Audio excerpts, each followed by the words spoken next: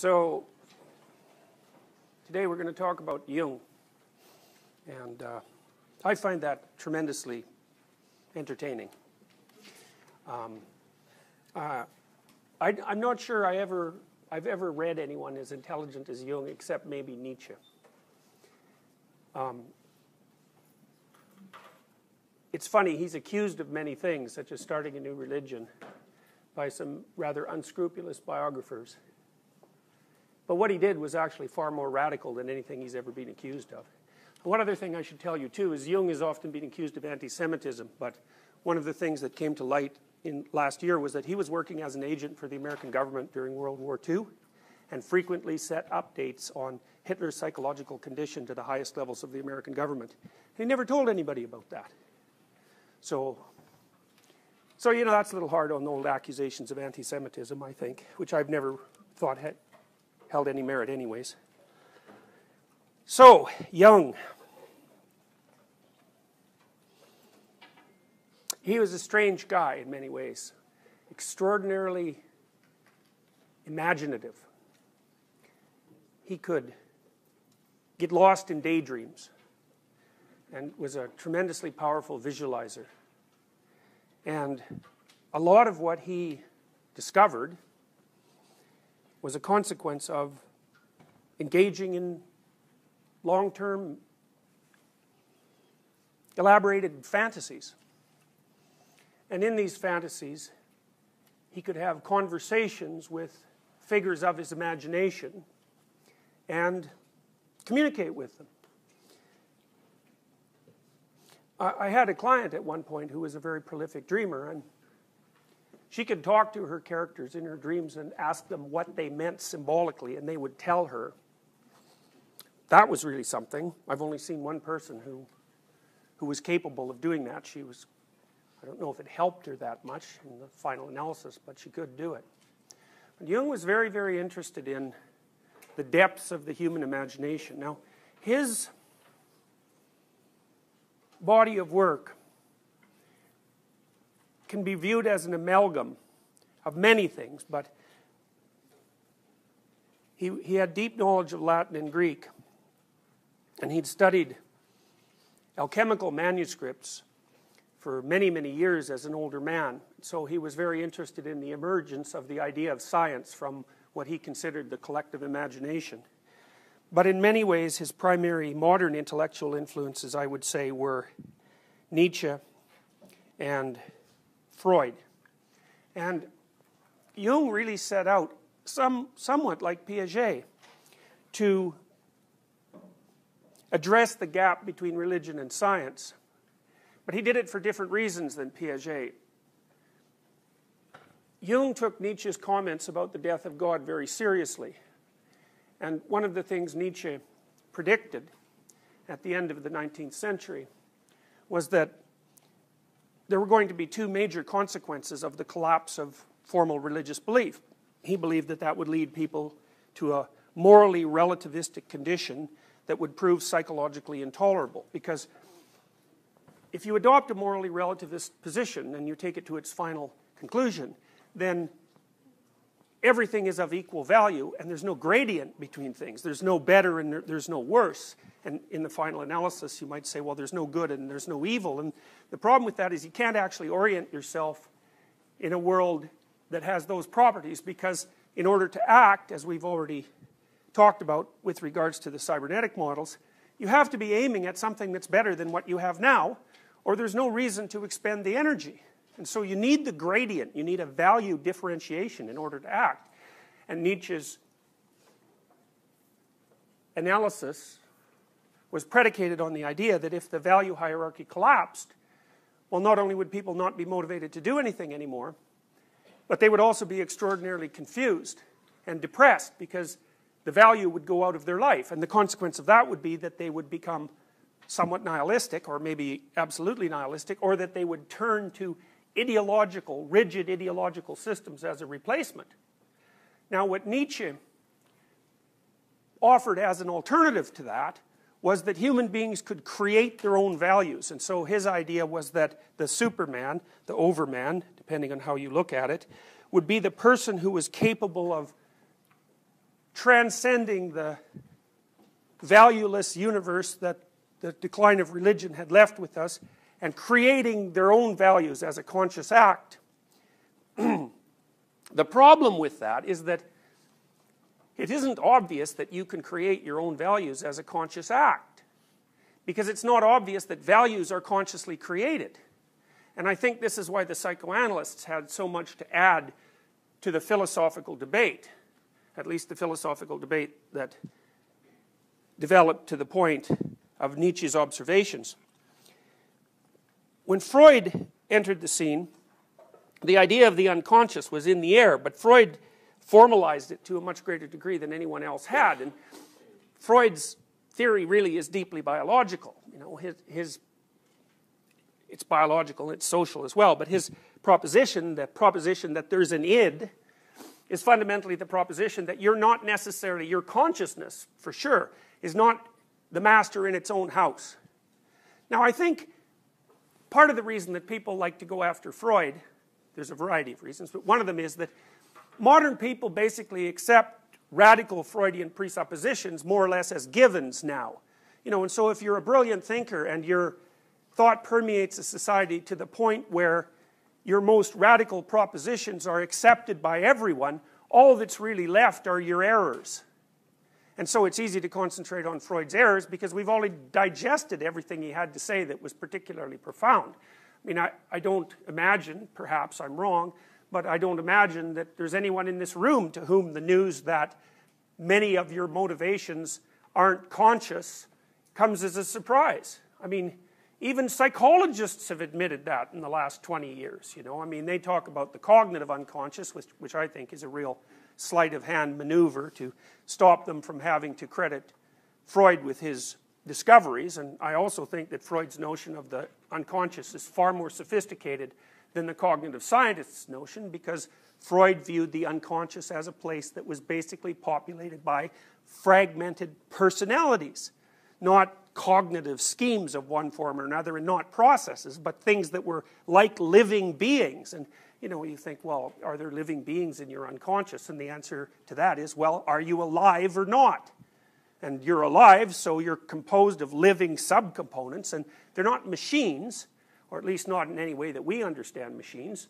They're fragmentary subpersonalities, and each of them have their own worldview and rationalizations and emotional structure and goals.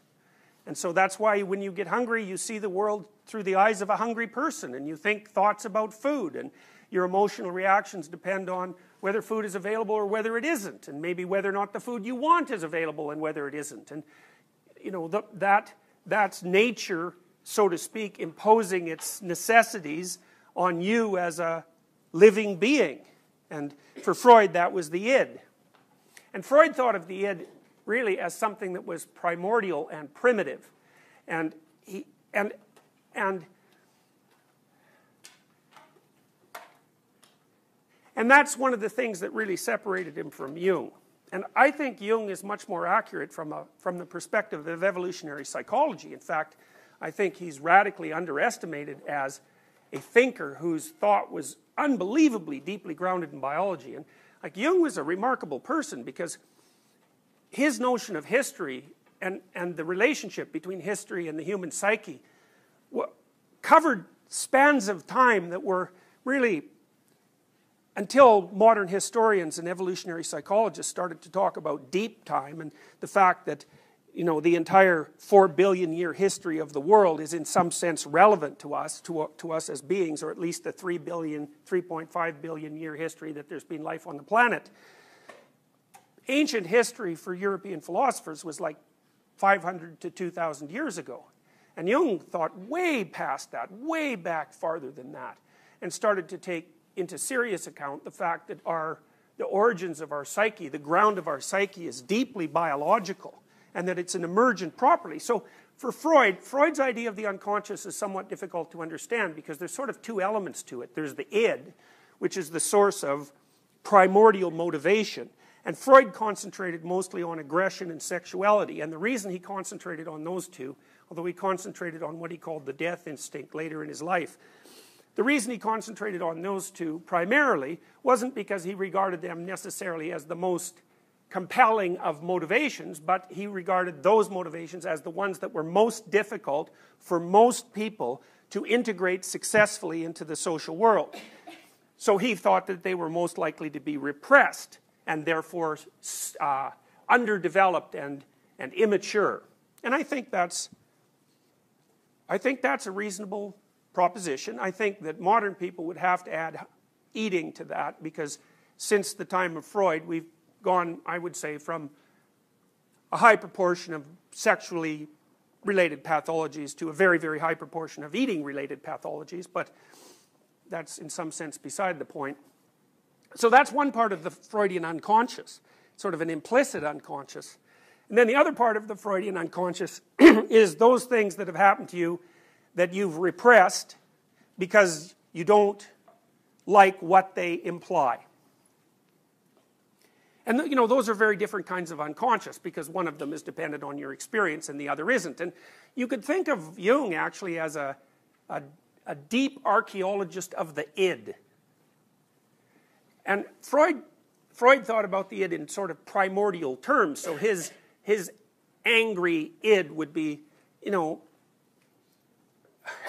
like a beast that's out of control. But Jung recognized that the unconscious was far more sophisticated in many ways than the conscious parts of your being. And that it guided your adaptation in ways that you didn't understand. And that those, the ways in which it guided your adaptation and structured your understanding were universal, hence biological, and far more sophisticated than a somewhat primordial notion of biological drive might indicate. So, one of the things that you might consider, for example, is that from the Jungian perspective, a lot of the forces that ancient people considered deities were personified representations of instinctual systems. So here's a way of thinking about it, and this is a way of thinking about the collective unconscious, which is Jung's, in some sense, Jung's replacement term for the Freudian id. So Mars, for example, is the god of war, Roman god of war.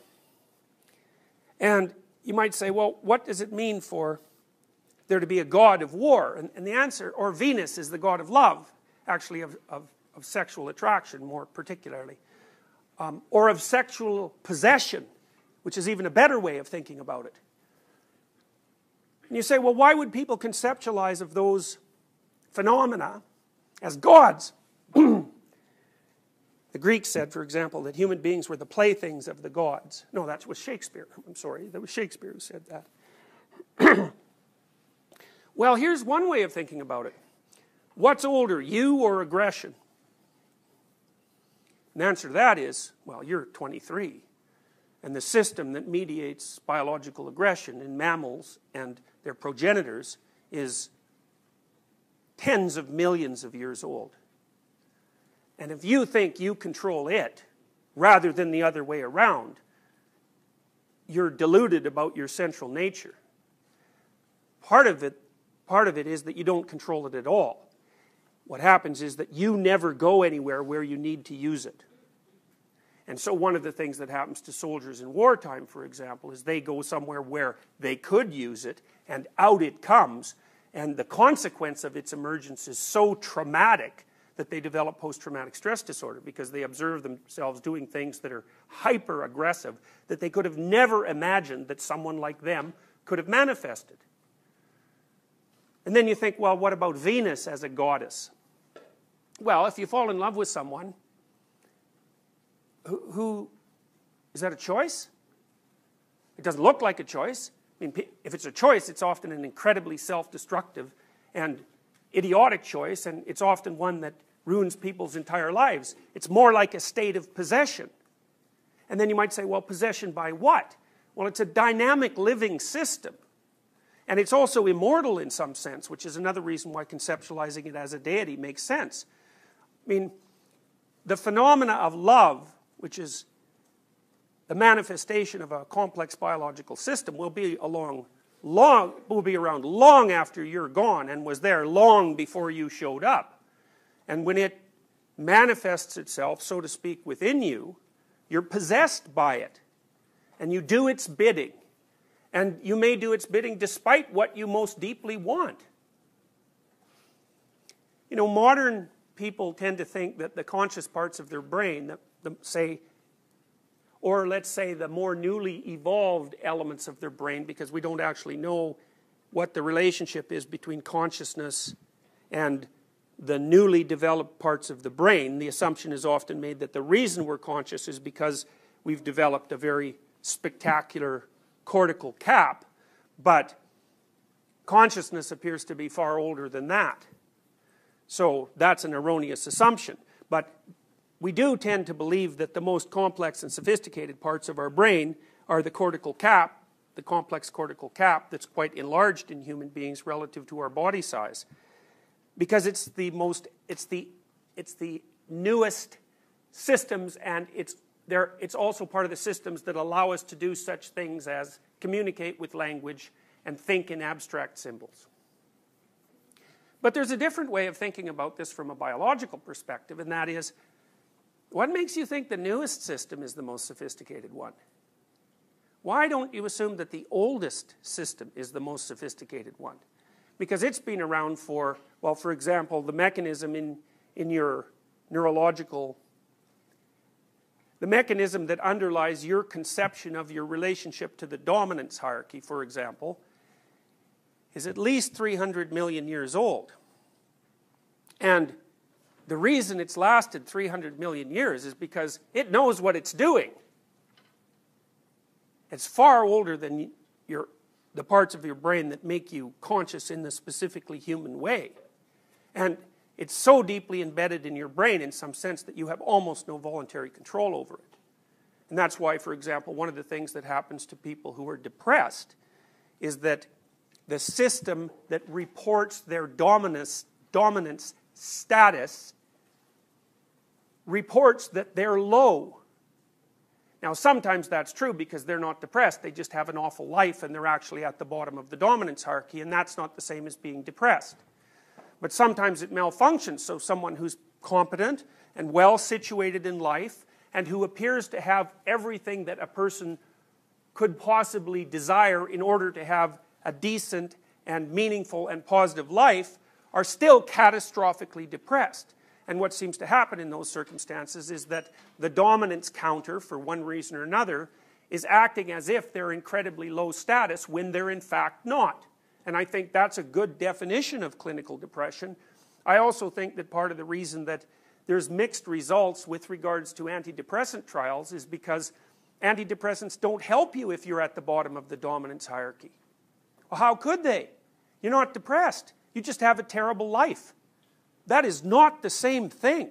And they need to be carefully distinguished because if you're unemployed and you're facing the loss of your home and maybe your partner's going to leave you and your children hate you, an antidepressant is very unlikely to fix that. Now, to the degree that misbehavior on your part caused by impulsivity and increased aggression and decreased mood because of your reaction to that circumstances is making it worse, then the antidepressant might help you. And maybe the antidepressant will help you regain enough cognitive control so that you can plan your way out of the situation. But as a medication in and of itself, there's no possible way it can lift you out of those often catastrophically complex and disintegrating circumstances. Whereas if your life is fine but you feel terrible, well, it's much more likely that an antidepressant can help with that because, in some sense, what it's going to do is to readjust your dominance, the reporting of your dominance counter, so to speak, to the level that's appropriate for your level of competence, which is really what you want. You know, people say you should have high self esteem. I, I, would say idiots say that you should have high self esteem. It's, a, it's an unbelievably corrupt construct in many ways because it's actually very, very highly correlated with baseline levels of neuroticism negatively, which is a fundamental personality trait, and baseline levels of extroversion. So, someone with low self esteem is generally someone who's introverted and has high levels of negative emotion. It's a trait like phenomena. It isn't clear at all that calling that low self esteem has any utility whatsoever, But then you also might ask yourself, well, how much self esteem should you have? Well, and that's a very complex question because you can clearly have way too much. That's what would make you a narcissist. So I would say your self esteem should be roughly equivalent to the esteem in which you're held by members of your society, you know, your family and your society, because they're judging you, at least in part, on your competence.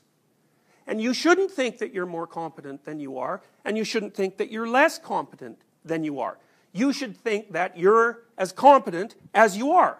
And sometimes that means you're not competent at all because you don't know what you're doing, and sometimes it means that you're quite competent. Now, I think it's complicated by the fact that you should also regard yourself not only as who you are, but as who you could be. You know, and so if you're of lowly dominant status, which for example, in some sense you guys are because you're young and you know you're starting your lives, the fact that there's a lot of potential that you still are able to manifest should tilt the self-assessment balance in your favor to a fair degree. So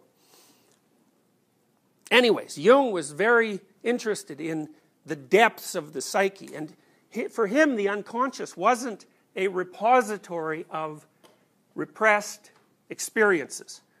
And it wasn't a repository of underdeveloped and irritated biological systems.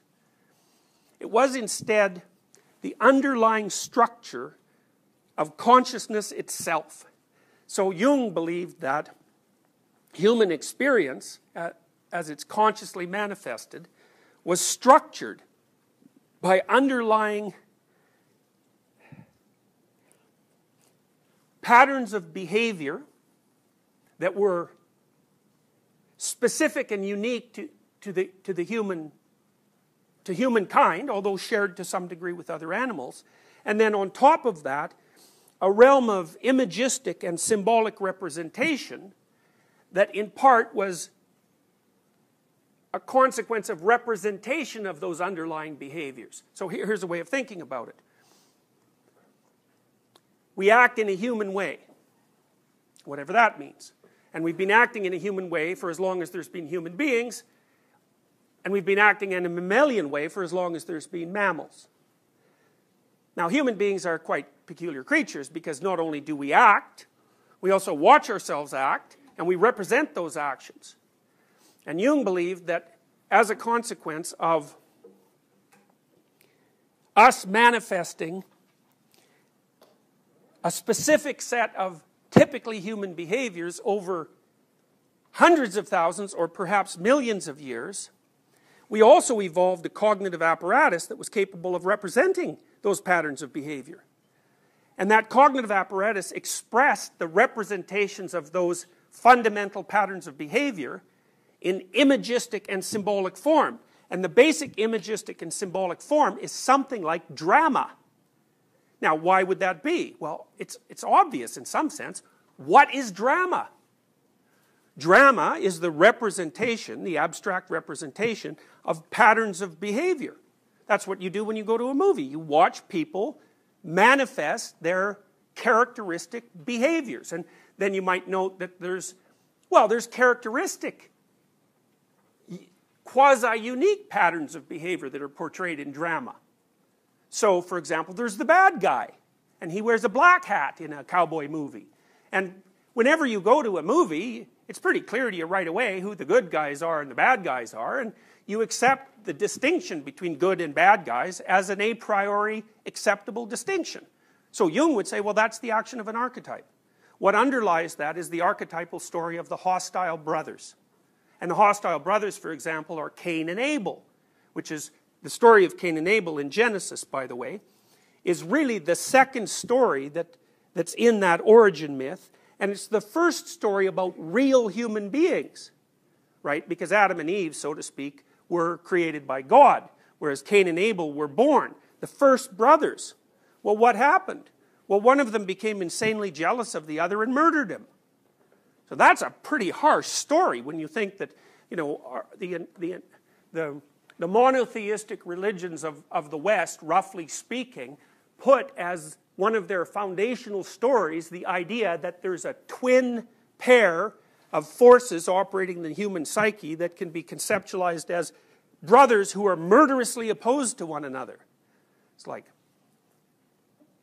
that's part of the reason why that story hasn't disappeared. It's so powerful, it's so shocking, it's so powerful that it can't disappear.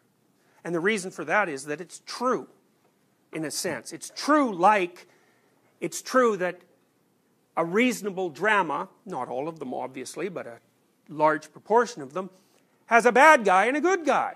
And then you might say, well, what would the archetypes be? Well, the archetypes would be the ultimate good guy and the ultimate bad guy. And there's representations of the ultimate good guy and the ultimate bad guy. Jung was very influenced by Christianity, and part of the reason for that is that he grew up in a state that was Protestant, primarily Christian, and a number of his immediate ancestors were pastors. So he, he grew up in an atmosphere that was pretty saturated by religious ideas. And so a lot of his thinking was heavily influenced by Christianity. So one of the things he pointed out was that just like Cain and Abel, who are archetypes in a sense, they're archetypes of the, they're the Old Testament version of archetypes of the hostile brothers, Christ and Satan are archetypes. And the reason they're archetypes is because virtually by definition, the, the satanic symbol, so to speak, is a representation, a symbolic representation of everything that's terrible about human beings. It's an archetype. You can't imagine anything worse than that, so it's like a limit case. And then when you go to a movie and you see bad guys, you can think of them as partial approximations of the archetype.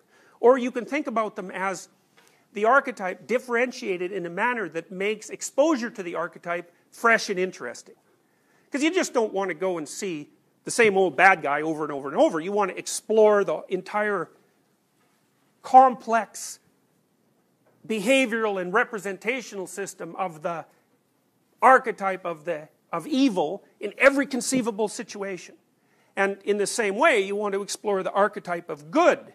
And the reason you want to do that, in principle, depending on your motivations, is to control the influence of the factors that underlie the negative archetype in your life and to manifest the factors that underlie the positive archetype. And that's why you hope for the good guy. It's also why, generally speaking, in a drama, you embody the good guy while you're watching the movie. So I can give you an example of this. So I, one of the things I learned to do with my son when I took him to movies, because when he was a little guy, I took him to fairly intense movies, and uh, sometimes too intense, but um, one of the things I taught him when he was afraid was keep your eye on the hero. Not don't be afraid or it's not real. It's like you could easily make a case that a movie is more real than normal life. Why would you watch it otherwise? What a movie is, is normal life stripped of everything that's trivial. So if you strip a representation of everything that's trivial, what makes you think that isn't more real? So is fiction more real than life? Well, is abstraction more real than reality? It certainly is in many cases. I mean, there are people who believe, for example, that mathematical representations are, are the most real of phenomena. They certainly, if you're a very powerful mathematician, they, you certainly become, or if your society is very powerful mathematically, it certainly gives you a tremendous amount of control over your environment. So the idea that abstractions aren't real is, that's a silly idea. And the idea that fiction isn't real, it, all that indicates is a confusion be, about what constitutes real. A movie is a representation of characteristic behavioral patterns extending across time. And it can be a more or less useful and accurate distillation of those representations. And generally, what we assume is that the greater the fictional representation, because we make a distinction between great fictional representations and you know, second rate fictional representations. So, Shakespeare, for example, is a master at exploring the contours of the archetype in a complex, realistic, and useful manner. Now, Jung also believed so that there were these patterns of behavior, and, and, and they would constitute the typical behavioral patterns of human beings. And then we evolved a system of representations of those patterns, and that would, would enable us to understand the patterns in a way that other animals can't because we're self conscious, right? So, what does it mean to be self conscious? It doesn't just mean that you know that you exist as a separate entity. It's not just a state of conscious awareness, it's a knowledge condition. You have at your fingertips a very large representational storehouse of abstract knowledge about what human beings are like. And that's developed over tens of thousands of years, right? It's a collective activity. The generation of all these stories we tell about each other. I mean, we have ancient stories. The, the oldest stories we have, by the way, are Mesopotamian stories, far as I know. And the oldest Mesopotamian story, or one of the oldest Mesopotamian stories we have, is a hero story where the, the god, Marduk, fights a great dragon and cuts her into pieces and makes the world. And you might think, well, what do you, Mesopotamians, you know, what do you mean the world's created out of the pieces of a great dragon? Well, it's, it's a Piagetian idea with a bit of narrative complexity added to it. It's like, well, how do you create the world? Well, you confront the unknown and you transform it into the known, or you confront unexplored territory and you transform it into explored territory. And then you might say, well, what exactly is the unknown, or what exactly is unexplored territory? And a scientist would say, well, you know, if you walk out in a field that you've never been in before, there's soil and material elements, and that's what's really there. But that isn't exactly what's really there. It depends on your time frame. So, one of the things I could say about that, for example, is that if you wander outside the boundaries of your knowledge, if you wandered outside the boundaries of your territory when you were an animal, or when you were a more archaic human being, the probability that you were going to run into something that was going to tear you apart and eat you was extremely high. And so then I could say, well, the fundamental nature of the unknown is that which tears you apart and eats you. And you might think, well, is that, what sort of reality is that? And, and I would say, you know how you hear evolutionary psychologists talk sometimes about the fact that we evolved on the African veldt and now our nervous systems are sort of adapted for that primordial environment and not really for the modern environment. And so there's a mismatch between us and the modern world. It's like, I, I think that's an absolutely reprehensible theory, partly because we didn't just evolve on the veldt, we've been evolving for a very long time. We spent a lot more time in trees, for example, than we did on the veldt. And while we were spending time in trees, a lot of us were eaten by snakes, for example. And so that's another reason why the, the unknown itself is represented as this terrible, predatory, reptilian beast. And then the human being is represented as that which, or the conscious element of the human being, which was represented by the Mesopotamians as a god, the highest god actually in the hierarchy of gods, which was a brilliant Mesopotamian realization, because the Mesopotamians basically concluded in their drama, their religious drama, that the highest faculty of the human being was the capacity to consciously attend to the unknown and to make something new out of it. Well, that's a Piagetian idea, right? That's exactly what Piaget was talking about when he talked about the necessity of comprehending knowledge as a process rather than as a collection of facts. It's a process. What's the process? Confront what you don't understand. Boldly go where no one has ever gone, right? I mean, Star Trek, that's where uh, systematizing minds get their mythology. You know, it's rife with mythology, and its initial statement is a mythological statement, and it's a statement of the eternal explorer. And that's an archetypal idea. And, you know, you might say, well, are you still threatened by those terrible things that threatened your ancestors on the veldt? And normally people would say, well, no, because there are no lions. But that's because they, they don't get the categories right. Lion is a subcategory of unknown horrible thing. And you guys are surrounded by unknown horrible things just like people have always been surrounded by unknown horrible things. So, because you're just as prone to disease, not quite as prone, but fundamentally you're a finite being. and there's things everywhere that act in a predatory manner in relationship to you, and you will die. And so the idea that the material conditions of our environment have changed in a qualitative manner since the time we spent on the veldt is an, it's an error of category. The mythological categories are categories that represent environmental entities, so to speak, some of which are social, that have existed for vast stretches of time and which exceed our capacity to detect with our senses. So, one representation, for example, is the great father or the wise old man. And the wise old man or the great father is fundamentally a representation of the dominance hierarchy. Now, the problem with the dominance hierarchy is you can't see it, but it's there. It's really there. And then figures like the Great Mother, especially the tarot, because most of the archetypal figures come in pairs a positive element and a negative element. And that's be because virtually everything that manifests itself to you in a complex environment, if you're a living being, takes with one hand and gives with the other.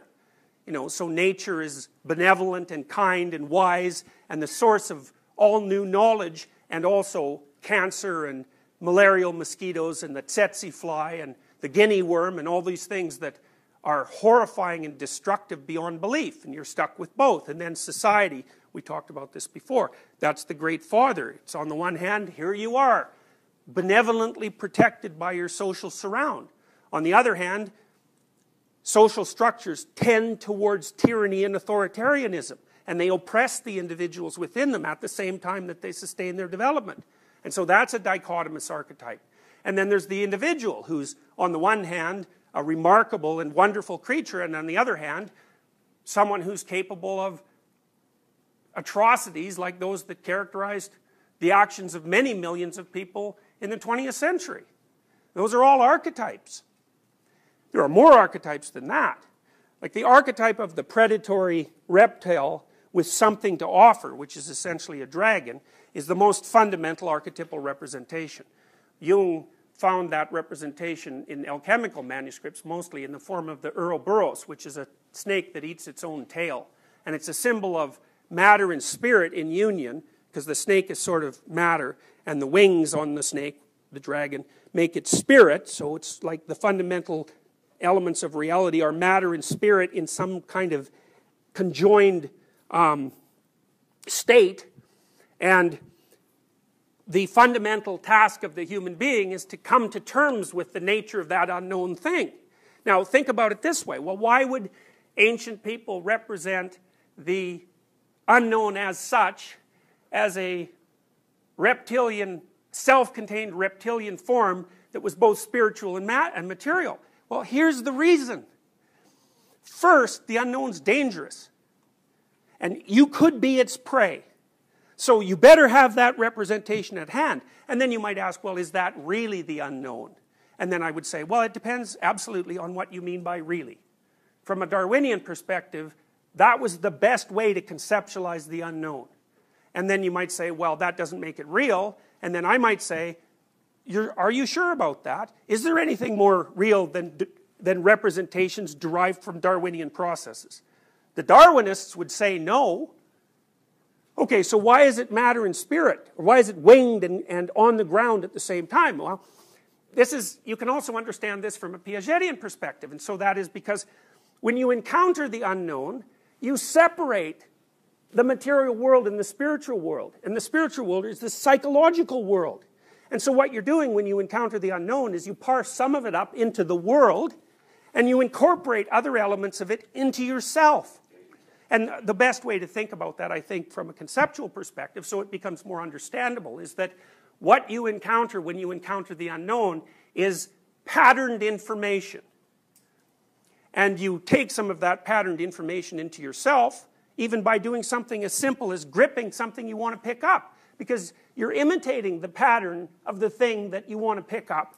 And that's how you're transforming its structure into an element of your being. And so when you're exploring the unknown, it's a constructivist idea, you're simultaneously constructing the world and constructing yourself. And thus, the inference is the unknown is made out of that which can be parsed out into psyche and matter. And it's dangerous. So it's a perfectly reasonable representation. And that's why it won't go away. So, Jung's fundamental contribution, I would say, is, the, is his analysis of hero mythology. And I would say that's the fundamental element of his thinking. Now, the relationship between that and Nietzsche is fundamentally this Nietzsche believed that once the religious systems collapsed, we would have to consciously produce our new set of values. But Jung believed that the psyche was the source of all value. And the, so that it wasn't a matter of creating new values, it was a matter of discovering the values that were already lying dormant and implicit within us. So, and the next thing I would say about that is you all know this. You just don't know you know it. And so, one of the reasons to be, to be educated from a literary and historical perspective is that you can come to understand what you already know. Because if you don't understand it, then there's an element of your being, the element that knows it and acts it out, and there's another element which is sort of you as a personality that are completely at odds with one another. And that makes you weak. It's, it makes you something that's divided within itself. Now, you're doing everything you can as a general rule to incorporate this information.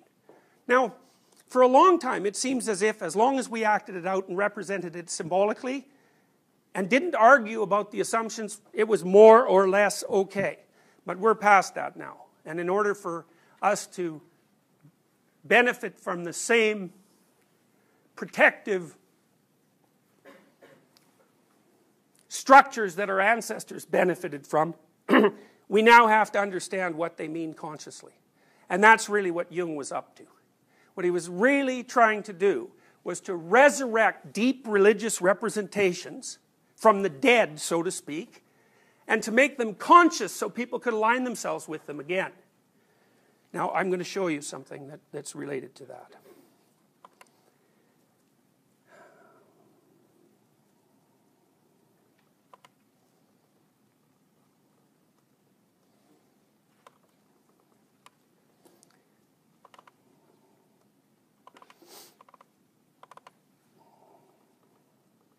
All right, now, so I'm going to show you something from Pinocchio. Now, this is an initiation ritual. It's a journey to the depths, so it's a journey to the underworld. It's the consequence of a collapse in previous personality and the disintegration of that previous personality into a chaotic state prime, prior to rebirth. Now, what happens in Pinocchio, which by the way was released at about the same time that World War II was, was brewing, and which also contains one of the best representations of, of, the, of the individual motivations for fascism that I've ever seen anywhere. That's the scenes that are associated with Pleasure Island. Remember, all the, the puppet is trying to become a real boy, right? So he's a marionette to begin with. Something else is pulling his strings. Well, for Jung, that's your habitual state of being. Something else is pulling your strings. Even the idea that you're autonomous is the consequence of something else pulling your strings.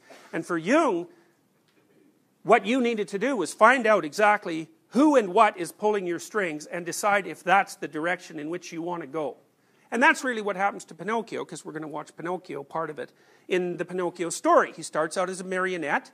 Now, He's a marionette made by a good father, because Geppetto is a good father. He's a good craftsman and so on. So he's a marionette with a benevolent puppeteer. But as soon as he develops some autonomy, then he becomes prey to forces that are elements of the demonic archetype. In fact, the worst bad guy in the entire movie turns into Satan himself at one point in the movie. He basically has horns and a bright red face, and he manifests himself as so terrifying that the coyote, coyote, wolf, fox, and the cat that are trying to corrupt Pinocchio are terrified because they get a, like they're criminals, they're petty criminals and deceptive and, and so forth. But when they get a look at who's pulling their strings, it's enough to terrify them.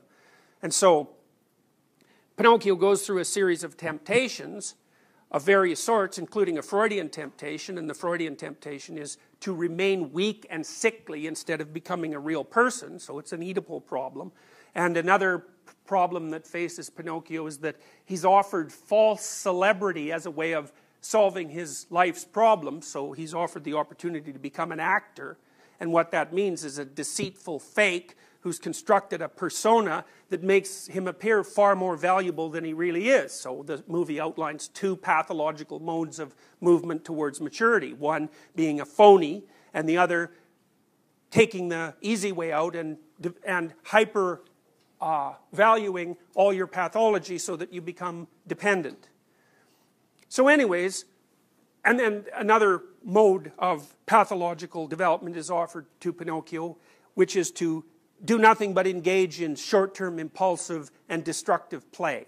And that's on treasure island but when he pleasure island. But when he goes to pleasure island he finds that it's actually ruled by demonic forces with faceless entities who are transforming all the pleasure-seeking marionettes to braying donkeys who are slaves it's like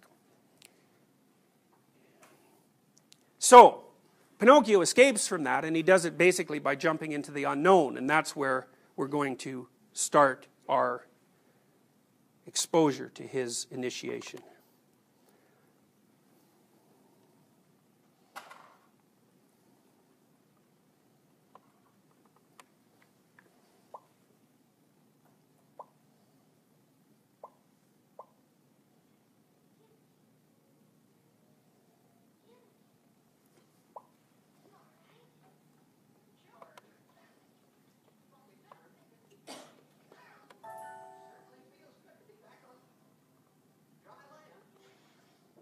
Okay, so now you can imagine what's happened is he was on Pleasure Island and everything went to hell fundamentally.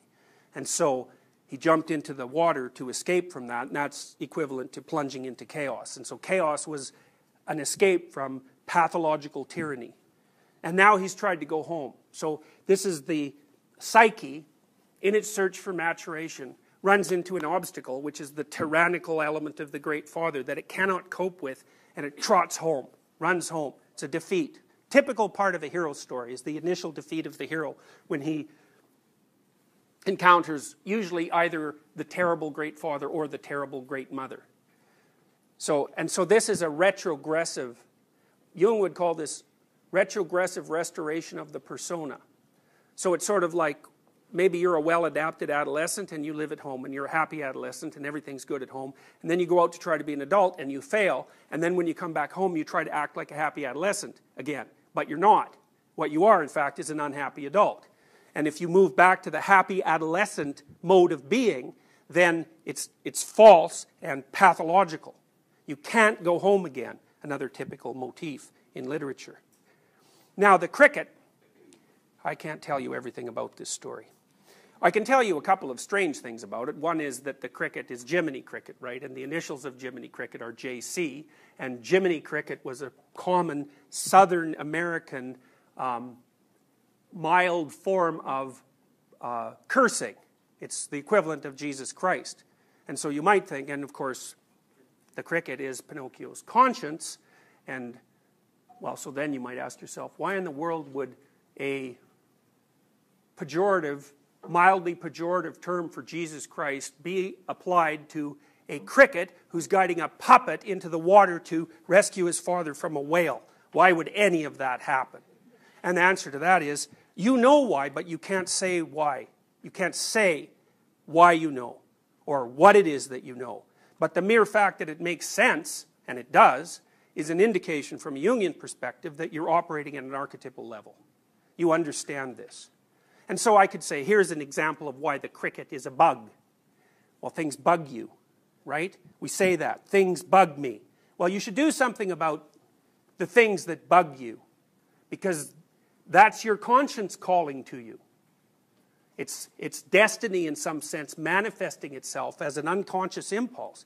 That really bugs me. Means if you can, you should do something about it because you think about it, man. There's a lot of things out there that might bug you. But lots of them don't. But some of them do. Well, why do those bug you and not the other things? Well, that's a complicated question, but one potential answer to it is that there's part of your psyche that's oriented towards further development. Jung would call that the self. And that's like the totality of everything that you could be. And it's, it's, it's, it's, a, it's a strange sort of entity in some sense because it's partly potential and it's potential that expands across time. But the way that your potential totality calls to you in the present is by placing things in front of you that are your problem. And they announce themselves as your problem, and they do that by bothering you. So then if you pick up the task of fixing the things that bothers you, then you find the pathway to further expansion of your personality. So, and that's what's happening with Pinocchio. Now, one of the things that's really interesting about the Pinocchio movie, that makes it incredibly sophisticated, is that despite the fact that the cricket is a avatar of Christ, so to speak, the cricket has things to learn just like Pinocchio. And so that's very cool because it's so cool, it's so sophisticated because it means that you do have a conscience that guides you. But until you establish a dialogue with it, both you and the conscience are immature. You have to establish a conscious dialogue with it and then interact together in a manner that propels your development across time. And that'll stop you from being a marionette of forces that would make you a braying donkey who does nothing but slave away in salt mines. So, okay, so Pinocchio goes home. That doesn't work, and that's where we're going to start here.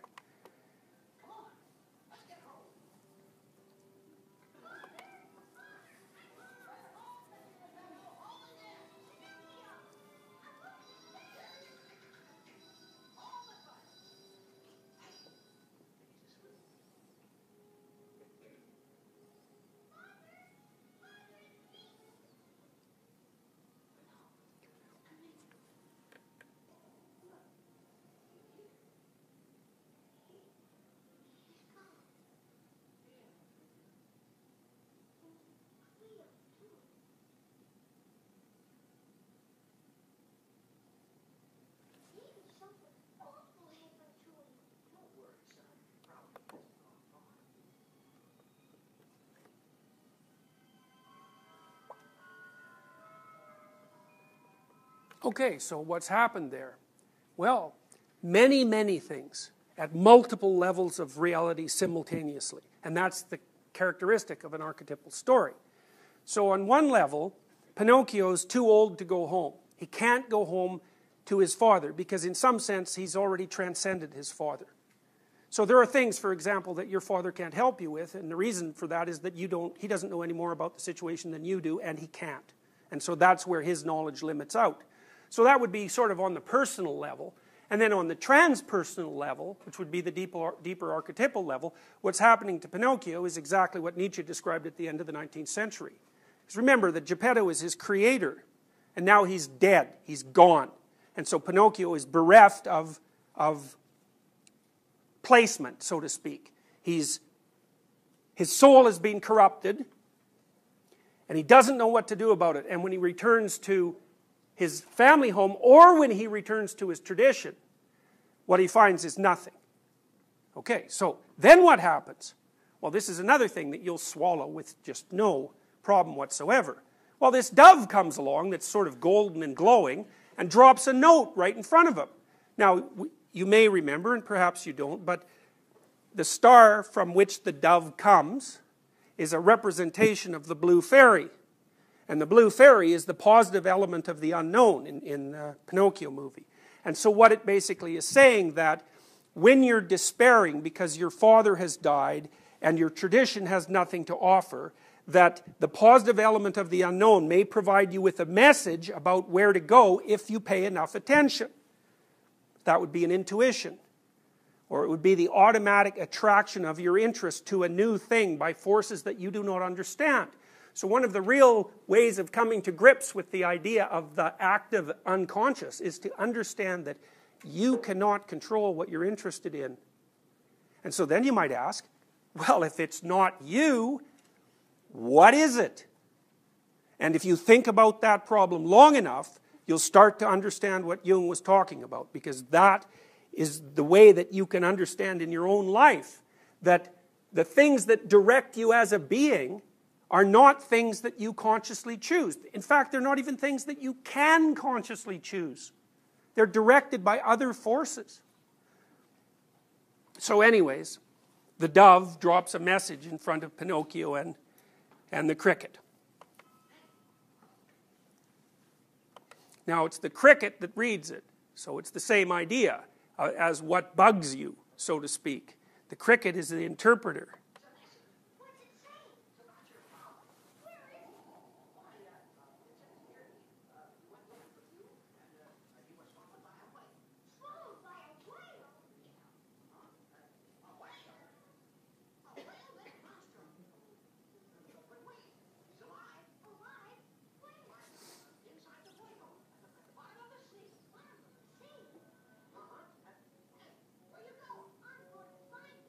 Okay, so now what have we found out? Well, we found out that God the Father and God the Father, the Creator, are not in fact dead, which is what Nietzsche pronounced, but alive in some weird way in this horrible creature at the bottom of the ocean.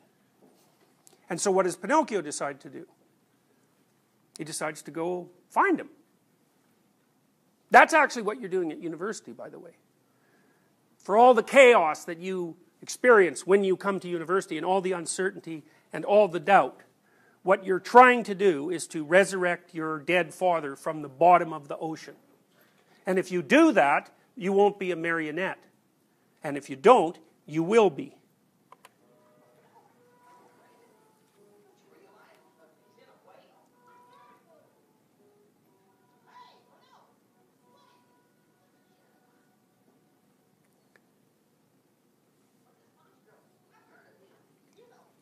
Now, this is very interesting because the conscience here plays a very dichotomous role.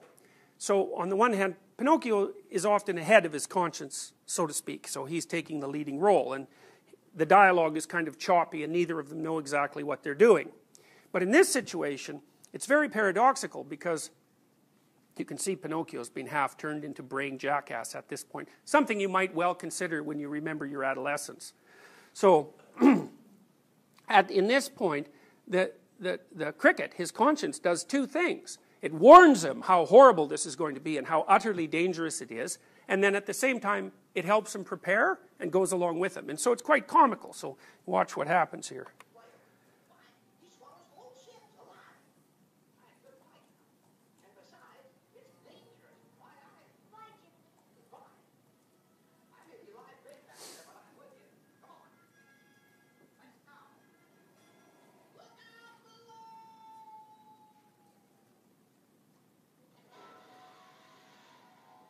Okay, so I've cut this a little bit, but what happens in the movie is that he goes to the bottom of the ocean and he starts to ask about Monstro. And as soon as he asks any of the fish down there, the denizens of the sub-oceanic world, where Monstro is, they just run away. And so Monstro is he who cannot be named, right? And I'm sure you've encountered that in your reading before, right? That's the, that's, uh, the hallmark of in the Harry Potter series. Right. See, now you've done it. yeah.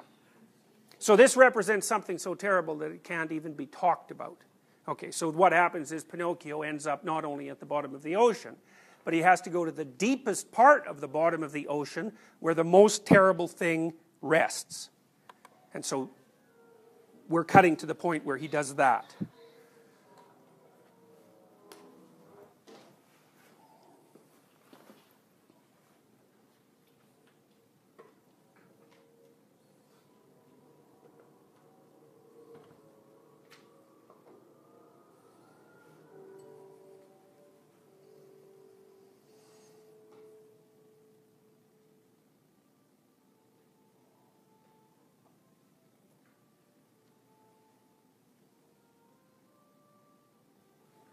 So now you might ask, how did Geppetto get in the whale? And the answer to that is it's never really made that clear in the movie. But I can tell you some things about that is that if you conceptualize your historical tradition as a personality, like a body of laws and customs, say, it's not alive. It's dead, right? Because it's composed of the past. And because it's dead, it can't come up with anything new. So if it encounters something new, it, it's stopped. And that's what's happened to Geppetto, is that he's engulfed by this entity that represents the absolute unknown, and he cannot figure out how to get out. And the reason for that is none of the things he knows so none of the things that history has produced as a body of knowledge are sufficient to deal with the fundamental problem. That doesn't mean they're useless. It just means that just like the puppet is lost without the father, the father is also lost without the puppet. And that's the relationship between you and history, your history. When you study history, you think, well, you're studying a record of events in the past, and that's not right. What you're studying is the, the circumstances that gave rise to you as a, as a being. And unless you understand your history in every way you possibly can, then you're an incomplete creature. You, you, you don't know enough to move forward. In the same way, your culture, being composed of dead fathers, so to speak, can't progress without you because you're its eyes. And there's an Egyptian story that features the god Horus, who I've talked to you about before, who actually resurrects his father from the dead by giving him an eye. So Geppetto can't figure out how to get out of this whale without help.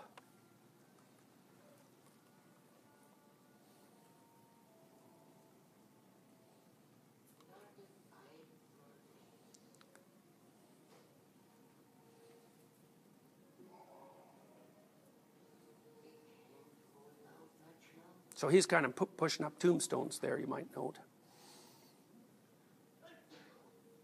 All right, now something very sophisticated happens here. So, and I have to explain it to you at multiple levels at the same time. So now, Geppetto is hungry. And when the whale opens its mouth, a lot of fish come in. Now, one of the things I want you to think about, you can just put this in the back of your mind, is that one of the oldest, one of the oldest symbolic representations of Christ is a fish. And all of his followers were fishermen. And so there's this weird relationship between the messianic figure who's at the base of it, at least at the base of Christian culture, and the idea of things that are pulled up from the depths. Now, here's what happens in this part of the movie. It's, it's so amazing. So, Geppetto is looking for fish. And the reason for that is he doesn't think he can get out of the whale, and so he might as well have some fish while he's, while he's in there. And so he's given up on getting out. Now, what happens is that the whale swallows Pinocchio as if he's a fish. So Pinocchio is put into the same category as fish, and it happens, it happens to Geppetto a couple of times. He mistakes Pinocchio for a fish. You'll see. So what that means in some sense is that Geppetto can't distinguish between the fish that will feed you for the day and whatever it is that Pinocchio represents. And so you could think about Pinocchio as a fisherman instead of as a fish. And so you can think about it this way, and here, here's, a, here's a, an old saying. If you give a man a fish, you feed him for one day, but if you teach him to fish, you feed him forever. And so the idea is it's better to develop the skill to acquire something than it is to have the thing. Now, what Pinocchio represents is he's like a meta fish. I know this is a strange way of thinking about it. Geppetto's problem isn't that he's hungry. His problem is that he can't get out of the whale. And so what he's fishing for isn't something to eat, it's something that will help him get out of the whale. But he can't recognize the difference between the proximate solution, which is so that he'll just no longer be hungry, so he's got a very short term outlook, and a solution to the much broader problem. So what happens is the whale swallows a bunch of fish, and Pinocchio's in there, and Geppetto's fishing away, and he catches Pinocchio. And Pinocchio announces himself, and Geppetto says, tells him to be quiet because he's interfering with him fishing. And then when he turns to hug Pinocchio, because he wakes up, he actually hugs a fish and then he discards the fish. So then he figures out that Pinocchio's there. Then Geppetto decides that, well, they're going to have to live inside the whale. And it's another idea of his blindness at this point because he's, he's composed of the dead past, so to speak. So what Pinocchio does is start to destroy the ship itself, which is what they're floating in in the whale, to start a fire. And the fire makes the whale mad enough to spit them out. And the whale then transforms itself into a dragon and tries to kill them because it's a fire breathing entity at that point. And so part of the understory is it's better to figure out how to fish than to fish, or that more profoundly, it's better to figure out how to do something than to merely benefit from the thing itself. Pinocchio represents that which can do new things. So he's a hero. And he's willing to destroy part of the current order, that's the ship, in order to produce a new strategy that will actually free them from the whale. Now, he wants to get his father out of there, too. So that's what happens in the next five minutes, I would say.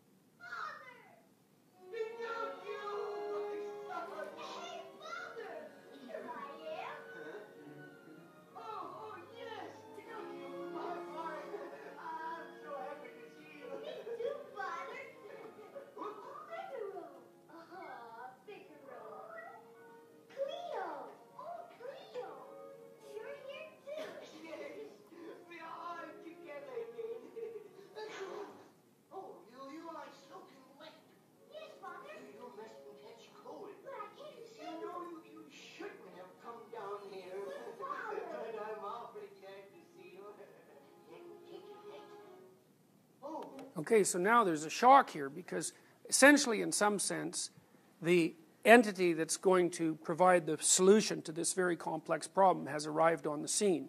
But it's quite damaged. First of all, it's been speaking improperly, right? So that's an adolescent representation. So it brays a lot of nonsense. And it's been corrupted in a variety of ways.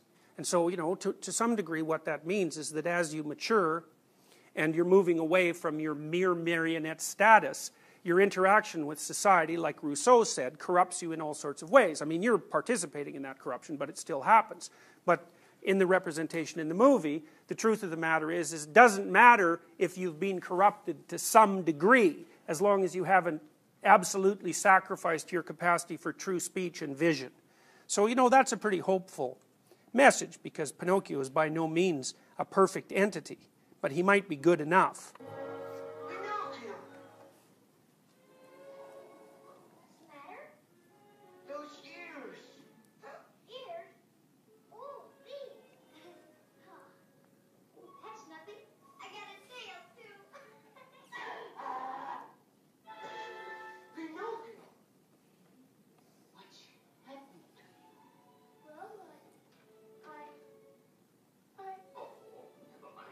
See, that's also an indication there of why people are often unwilling to form a representation with, uh, so to speak, form a relationship with the archetype of the Great Father, because to some degree, the archetype is a figure of perfection, and the individual in relationship to that archetype is always pathologically flawed. And so the embarrassment of that realization, which is exactly what's happening to Pinocchio right now, is often enough to stop people from doing it. So what, what that would say, to say what that means in some sense, is that in order for you to mature in, in the fullest possible manner, you have to understand the, the manner in which you're deeply flawed in relationship to, the, to your, your potential as it might be historically determined. And that's a very bitter thing to do. You know, it's much easier, and people do this all the time, to engage in half-witted, formulaic, um, ideological criticisms of the system as a whole. It's like, you know, the probability that the system is more flawed than you is pretty damn low. So you might want to start with you know, getting rid of your donkey ears and your tail and stop braying nonsense before you judge the entire, you know, historical process by which human beings have come into being. So, anyways, that's kind of what that means.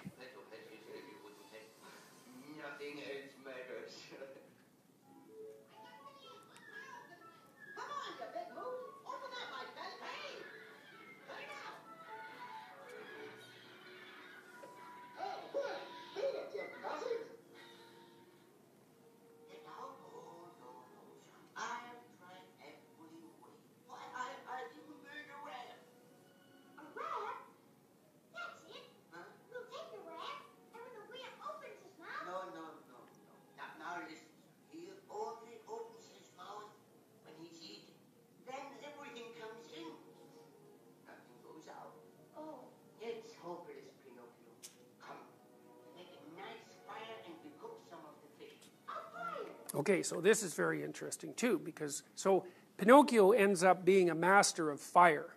Well, you can think about that as there is a book written a while back by a primatologist who also wrote Demonic Males, Richard Wrangham. And he talked about the origin of fire. And as far as Wrangham is concerned, we invented fire about two million years ago. And that enabled us to cook food. And that enabled us to swap intestinal length for brain.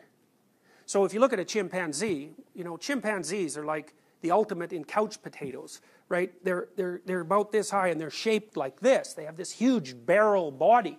And the reason they have that is because they eat leaves. And so they have to spend like eight hours a day eating leaves. They will eat meat if they can get it. They have to spend like eight hours a day eating leaves and just chewing them over and over because, like, leaves, A, they don't want to be eaten, so they're pretty tough and inedible, and B, they don't have any nutri- nutritive quality to speak of. So the chimpanzee has to spend all of its time chewing, which is rather mindless endeavor, all things considered. Whereas human beings, two million years ago or thereabouts, invented fire, and as a consequence of that, we could cook meat. And meat is incredibly energy uh, rich. And so, and it's easy to digest once it's cooked. And so the consequence of the invention of fire was that we're the way we are today. We could have a brain instead of a gut.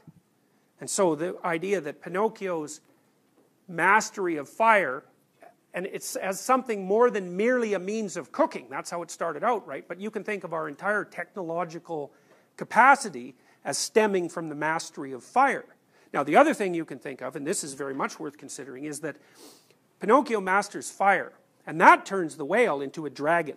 And so the idea there, too, is that, and this is an old idea, is that our technological prowess is something that makes nature itself angry. And of course, you might say, well, do you believe this? And the answer to that is, well, how many of you have environmentalist leanings? And that's exactly the story that you're following because you're still wondering about whether or not mastery of fire was in somehow against the natural order and that it will end up in all of our deaths. And you know, that's a reasonable thing to worry about, but not mastering it was going to end up pretty badly too. So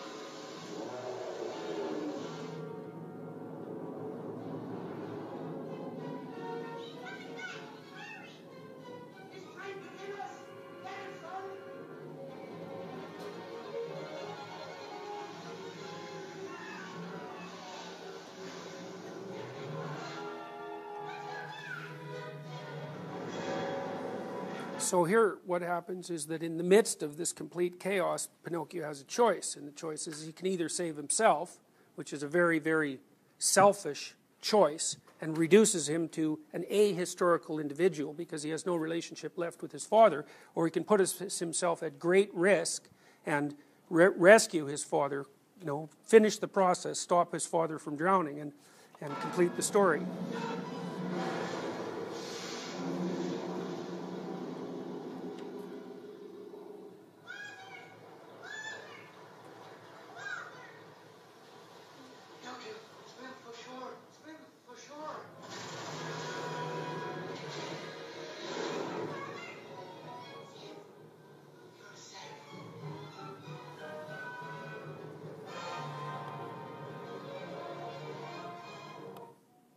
Okay, so um,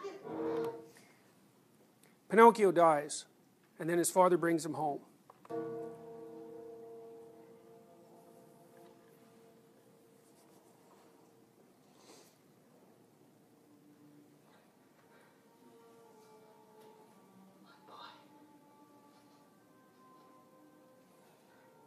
And so, because he's rescued his father, the benevolent spirit of nature appears resurrects him, and turns him into a real human being. Prove yourself brave, truthful, and unselfish. Someday you will be a real boy. So it's pretty funny, as far as I'm concerned, that the answer to Nietzsche's Greek question manifested itself in 19, mid 1930s in the forms of an form of an animated child's movie. So, you know, and that's an, that's an example. That's an example of a number of things. It's an example of how archetypes work. It's also an example of how artists are on the edge of discovery all the time. And they discover things they don't even understand. So, we'll see you next Tuesday.